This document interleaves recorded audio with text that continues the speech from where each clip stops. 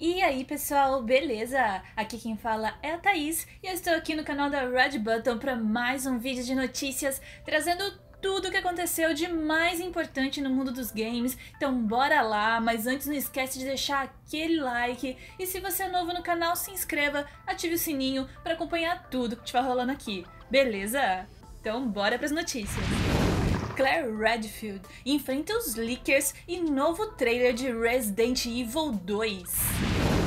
Bichinho Virtual retorna com versão oficial de Pokémon em 2019.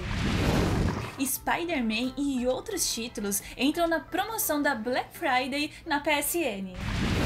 Obi-Wan Kenobi entra em ação em novo trailer de Star Wars Battlefront 2.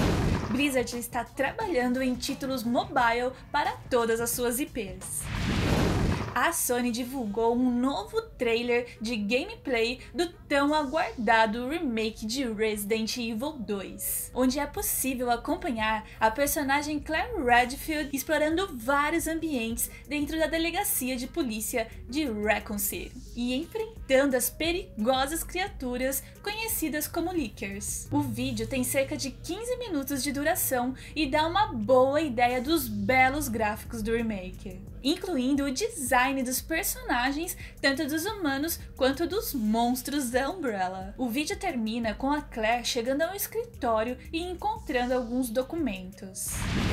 Febre nos anos 90, o Tamagotchi mais conhecido como Bichinho Virtual, estará de volta no ano que vem em uma versão oficial baseada na série Pokémon. A iniciativa é fruto de uma parceria firmada entre Tamagotchi e The Pokémon Company, que permitiu criar o primeiro Tamagotchi oficial do Pokémon, o qual dará aos donos a oportunidade de poder cuidar do seu próprio Eevee, um dos monstrinhos mais populares da franquia atualmente. O mais interessante nessa nova versão de bichinho virtual é que cada Eevee tem o potencial de alcançar alcançar uma das suas oito evoluções possíveis. De acordo com o site oficial do acessório, o novo Tamagotchi será lançado no Japão no dia 26 de janeiro de 2019 por 2.300 ienes o que dá aproximadamente 77 reais. Até o momento, ainda não foi confirmado se ele também será disponibilizado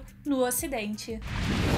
Se você estava esperando apenas uma promoção para poder curtir o mais novo jogo do Homem-Aranha no seu PS4, a hora é agora. A Sony adicionou alguns novos títulos na promoção da Black Friday, lançada semana passada, incluindo o game do herói Aracnídeo, que ganhou desconto e estará à venda por R$ 131,93 até dia 27 de novembro. O preço anterior era de 200 reais. Quem estiver disposto a gastar um pouquinho mais na versão Digital Deluxe Edition, que inclui os três pacotes DLCs que serão lançados e mais alguns conteúdos bônus, está saindo por R$ 187,42. Outro exclusivo da Sony que está com valor camarada é o The Last of Us Remastered, que está saindo por R$ 23,97.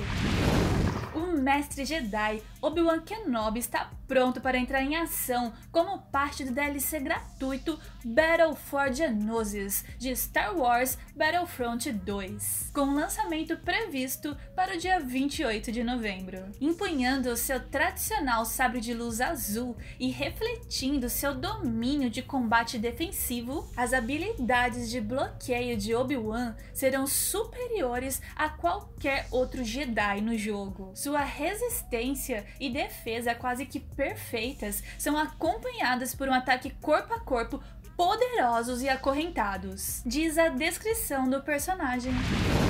O produtor executivo da Blizzard, Alan Adam, anunciou recentemente que, além de Diablo e Immortal, outras franquias da empresa devem receber versões para sistema mobile. Em termos de abordagem da Blizzard para jogos mobile, ao longo dos últimos anos, muitos de nós mudamos de jogar majoritariamente no computador para jogar várias horas em celulares. E nós temos muitos dos nossos melhores desenvolvedores agora trabalhando em novos títulos mobile para todas as nossas propriedades intelectuais. Comentou durante uma conferência da imprensa da BlizzCon 2018.